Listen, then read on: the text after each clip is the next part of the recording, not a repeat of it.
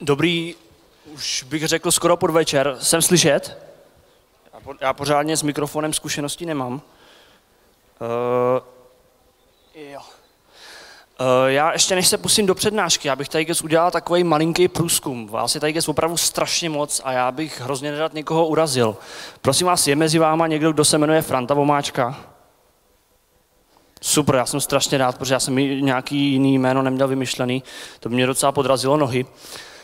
Ještě než se teda pustíme do té přednášky, uh, kdo z vás ještě předtím, než viděl v programu New Media Inspiration, slyšel o něčem, jako je guest blogging? Ruku nahoru. Super. Dobrý, nechte ruce nahoře, prosím vás, kdo, kdo ještě měl. Uh, kdo z vás ví, co to je guest blogging? Super. A kdo z vás už někdy tu, tu formu spolupráce využil? To je super, tak je Robert, já tě zrovna využiju na začátek té přednášky.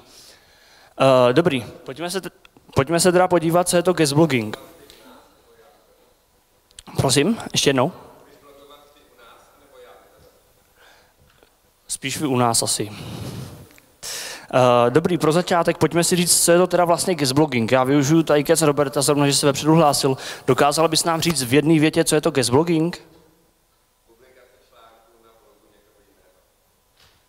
To je celkem dobrá definice, já moc děkuju. Eh, v podstatě jde tady o tvorbu obsahu eh, na základ, nebo jinak, tvorbu efekt, eh, efektivního, promiňte, tvorbu kvalitního obsahu bez návazností na redakci nebo majitele webu. To znamená, ano, já sice ten web nevlastním, ani nejsem v jeho redakci, ale jsem autor, jsem nějaký specialista na určitý obor a napíšu pro daný uh, magazín článek. Pojďme si to ukázat na nějakým konkrétním příkladě.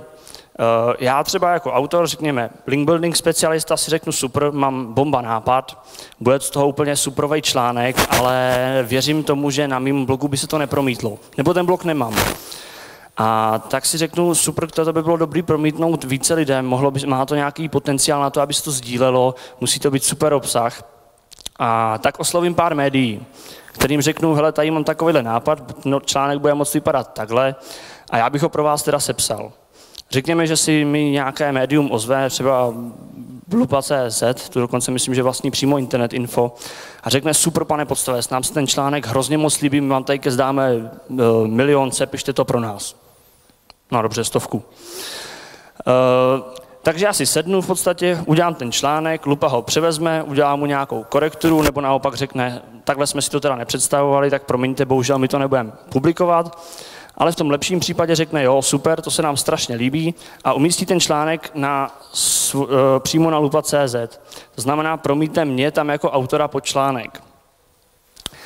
Uh, já, co se týká nějaké oficiální definice uh, guestblogingu, bohužel v České republice jsem nic nenašel, co by vystihovalo tu podstatu, což je trošičku máslo na hlavu, protože osobně jsem taky publikoval jeden článek o guestblogingu. Ale ze zahraničí asi nejkrásnější definice k přeložení eh, byla, že guestblogging je vlastně tvorba kvalitního obsahu pro médium bez návazností na majitele webu nebo na redakci. To znamená v podstatě ten koncept, který jsem tady před chviličkou popisoval. Já jakožto autor, jakožto odborník na nějaké téma, ačkoliv nejsem v redakci daného webu, tak mu nabídnu, že bude moct publikovat můj obsah s tím, že se domluvíme na určitých benefitech jak pro jednu, tak pro druhou stranu. Eh, bohužel guestblogging se v České republice setkal poměrně s nepochopením. Eh, s tím, že přišel do České republiky v době, kdy eh, vznikaly nové Google algoritmy, jako je například Penguin nebo Panda, a hodně lidí si je přivlastnilo jako nějaký linkbuildingový nástroj, což sice on je, ale určitě to není jeho primárním cílem. Eh, pro nás teda v České republice je možná mnohem zajímavější otázka, co vlastně není guestblogging. Protože hodně lidí si guestblogging plete s takovým tím přidáváním těch PR článků do katalogů a na přidej článek CZ a dalších. Já jsem na toto téma nedávno se bavil s kamarádem, protože ten mi v tomhle tom hodně oporoval a říkal v podstatě, teď já taky vlastně přidávám nějaký obsah. A nejsem přitom ani majitel webu, ani jako ta redakce. A já jsem si teda dovolil sednout večer a dát dohromady pár specifik, které oddělují guestblogging právě od takového přidávání PR článků do katalogu. E, mezi ty specifika patří určitě čtenáři. Pokud něco hodím na nějaký PR katalog, tak nemůžu počítat s tím, že můj článek si bude číst tisíce lidí denně, že na ně budou jakkoliv reagovat a že je budou například sdílet. Eh, naopak, když ho hodím, řekněme teda na ta lupa CZ, tak tam už musím počítat s tím, že ta cílová skupina, která k tomu článku patří nebo k tomu obsahu, o něj bude mít zájem. Eh, dále kvalita obsahu. Na PR katalogy vkládám článek kvůli tomu, abych měl pár odkazů. Často mi tam nejde vůbec o kvalitu, ale spíše o kvantitu těch článků, které vygenerují. A zároveň nějakou efektivitu. Proč? Protože guestblogging může být zároveň zdrojem konverzí. Eh, když pod lupa.cz napíšu úžasný článek o link buildingu a pod tím budu uvedený jako link building specialista, tak si asi někteří lidé řeknou, ano, to je třeba autorita v oboru, nebo je to někdo, kdo tomu rozumí podle toho, jak tomu píše. To znamená, ano, můžou mne poté oslovit a můžu z toho mít i nějaké zakázky. No jo, ale proč se vlastně tato ta win-win strategie nebo ta forma spolupráce dělá? Co jsou vlastně ty hlavní benefity pro jednu nebo druhou stranu? Uh, pohlížet na to můžeme z dvou různých rovin. A to z roviny autora a z roviny média. Má tu někdo nápad, jaký jsou vlastně benefity pro toho autora, když také napíše článek, řekněme například pro tu lupu? Popularita, super. Něco dalšího? To už eh, to můžeme schrnout v podstatě pod tu popularitu, to znamená, ten člověk se stává autoritou ve svém oboru. Co dál? Návštěvnost, super. Ještě někdo? Výborný. Ty jo, tak to tam ani nemám, se přiznám. uh, dobrá, pojďme si to nějak schrnout. Může to být určitě sláva. To znamená, tím, že já píšu pro velké médium, se ze mě stává určitým způsobem autorita. Ty lidi o mě vědí, můžou si mě uh, přivlastnit k nějakému oboru.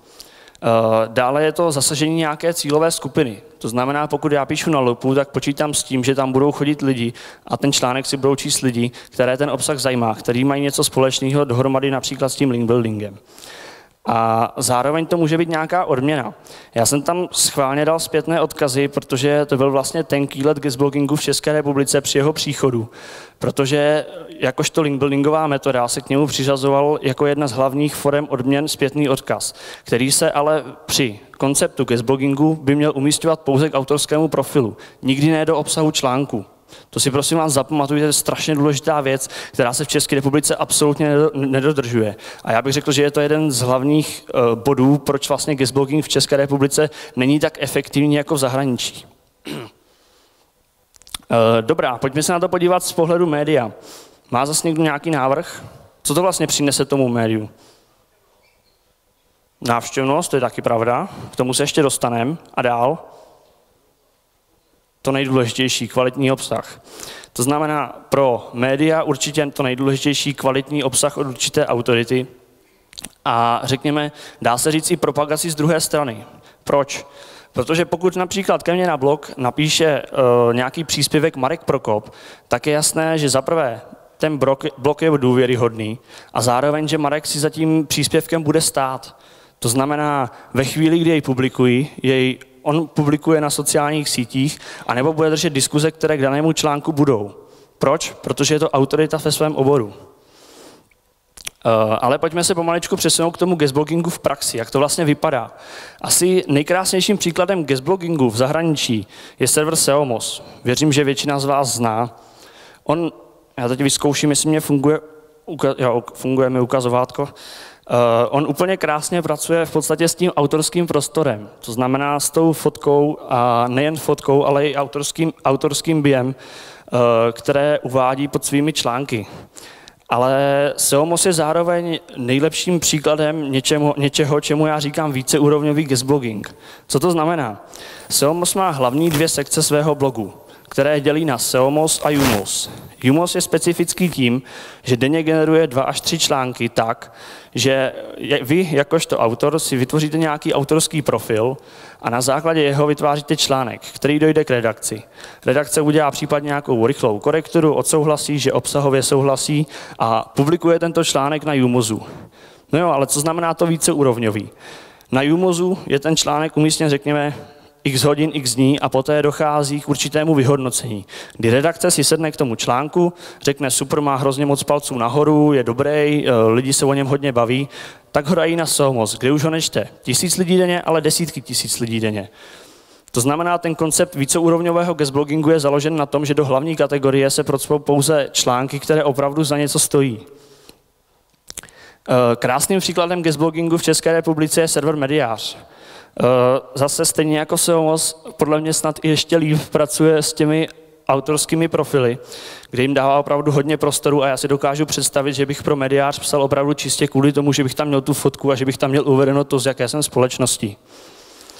Eh, dalším příkladem v České republice může být například server Programujte, který bohužel v poslední době hodně z, z, z, zprosté slovo, eh, PR články, ale jinak eh, tu formu guestblogingu zpracoval taky, také velmi dobře a dává nejvíc prostoru nejen pro odkazy, ale zároveň pro nějaké sociální sítě těm autorům přímo pod článek. Eh, na českém trhu, proto aby tady uspěl guestblogging, chybí základní tři specifika. Je to možnost, prostor a motivace, protože české magazíny prozatím s těmito specifiky absolutně neumí pracovat, anebo koncept guestblogingu neznali. Možnost, to znamená říct těm autorům, ano, je tady možné nějaký ten guestpost vytvořit, je tady možný nějaký ten článek mít. Uh, prostor, to znamená naučit se pracovat s tím autorským prostorem. Viděli jste krásně ten mediář, který ten autorský prostor má vyřešený opravdu bravurně a zároveň motivace. To znamená rozmyslet si ty benefity jak z jedné, tak z druhé strany a říct si, jo, vy pro nás byste mohli psát, protože máme takovouhle návštěvnost, protože vám poskytneme takovýhle prostor a protože tohle to se vám nějakým způsobem vyplatí. Uh, já ještě nakonec bych byl hrozně, snad jsem, myslím si, že jsem asi jediný, kdo dneska nepřetáh. Uh, já ještě nakonec bych byl rád, kdybyste si z dnešní přednášky odnesli dvě takové zamyšlení. Jedno z pohledu autora a jedno z pohledu média. Z pohledu autora má pro mě guestblocking smysl a pokud ano, existují média nebo nějaké magazíny, na kterých by, bych ho byl schopen provozovat? A z druhé strany, z pohledu média, má pro nás zase guestblogging smysl a pokud ano, dává, splňujeme ty, ty tři zásady, které byly na předchozím slajdu? Děkuji za pozornost.